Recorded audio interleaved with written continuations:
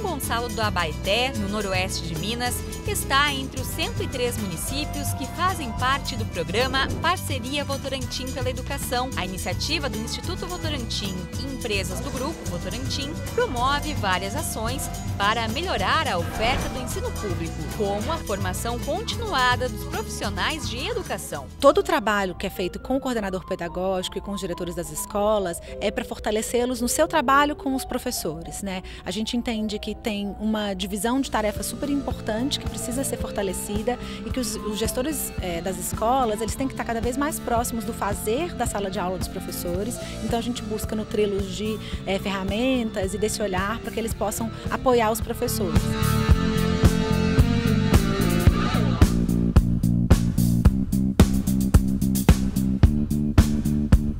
O PVE nos dá assim, um, um, um novo ânimo né, com, com, com técnicas é, diferentes, um, um manejo de, de, de classe é, com novas possibilidades para a gente estar desenvolvendo o um melhor trabalho em sala de aula.